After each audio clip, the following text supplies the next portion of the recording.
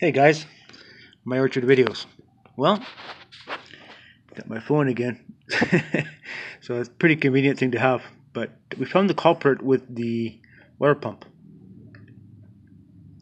So this thing here, I mean, this cannot be good. so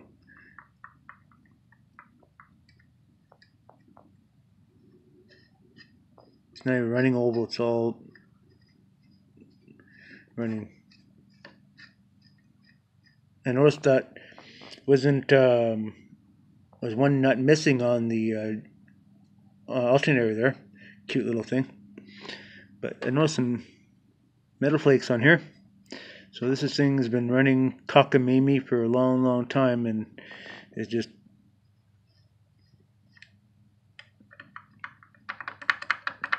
not so good. I thought maybe the fan was broken or something, eh? But uh, fan's okay. And pulley's okay, not cracked. I oh shit, it's cracked.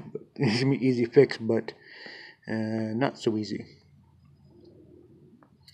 Some metal filings in there and stuff. So this has been like this for quite a while. So I don't know.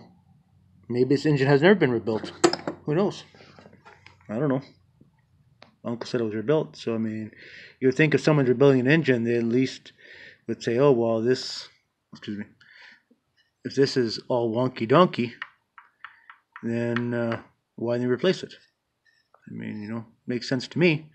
If you're building an engine, you fix all the stuff that's wrong with it, right? Not always the case, but this, this is not right.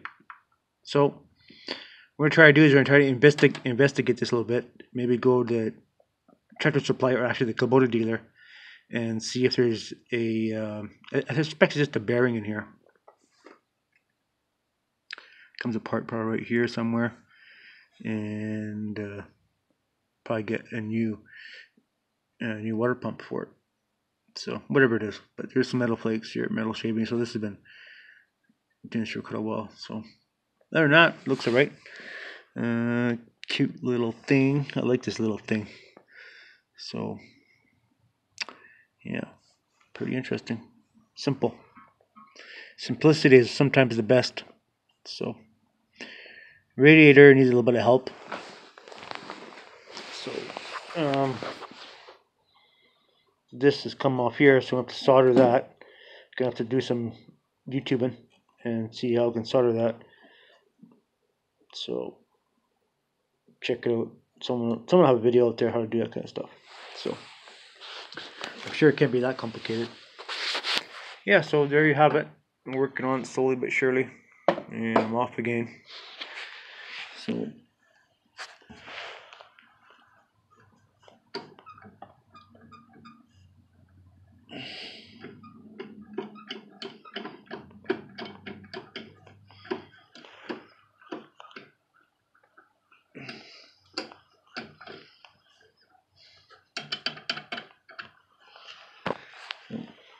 pretty pretty interesting little machine. I mean, the transmission is the back, right? And the drive shaft just runs right across there. Makes it more versatile for doing other, other things, right? So I would have liked to pressure wash the whole damn thing, but now it's too cold now to get that on the, on there. And uh, I might end up putting welding an eye on here and making this power steering, but we'll see you know have a loader stuff on there is going to make that much more harder to turn. But there is some other stuff here you need addressing too.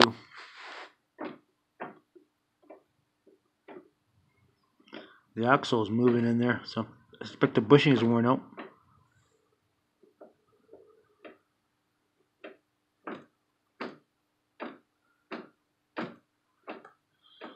That can't be good or it's loose. So check it out. That's all we can do.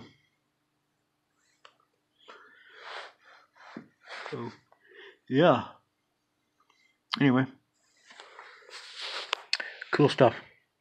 Anyways, uh, we're going to. Um, I said we're going to. Well, probably end up uh, uh, tomorrow. I guess we'll go to the, talk to the tractor dealer or the Kubota dealer and see if we can get a water pump for this thing here. So I address that there. So yeah, so go from there. Uh, I'm not going to be touching it too much, just filters and so forth, and get it running good. And that's pretty much it.